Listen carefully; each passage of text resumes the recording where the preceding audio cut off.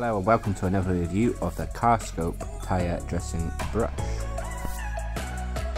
So the brush comes in this hard plastic case which helps to keep it nice and clean when it's not in use. The brush is nice and slim compared to some of the other applicators like the foam applicators you would use which can be quite big and bulky or a Boar's brush.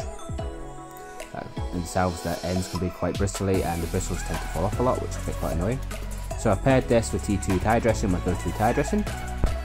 So the bristles themselves are small, soft and made from nylon. There's an extremely large number of bristles on this brush which makes it ideal for those tyres that have lots of detail, uh, wording, etc. that are hard to get a nice even spread of tyre dressing across them.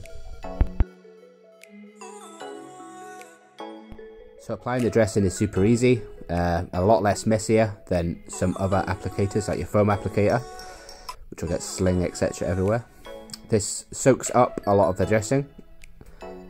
Then you just gently maneuver it across the top of the tyre, working it into those intricate areas, which gives you a nice, perfect, shiny, glossy finish, depending on the tyre dressing chosen.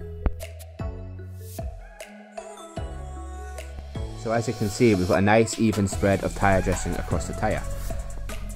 It's been worked in really well into those detailed areas, sometimes which can be quite tricky without your standard foam applicator to get the tyre dressing worked into nicely.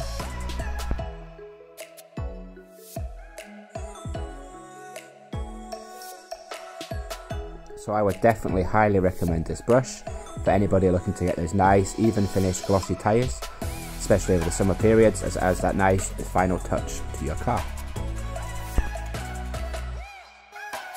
So these applicators can be bought from a few places, My Car Cleaning have them and you can also get them from Car, Carscope themselves.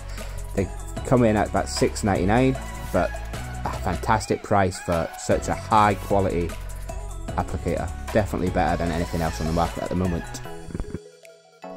Hope you all enjoyed the review. Please like and subscribe. Thank you very much.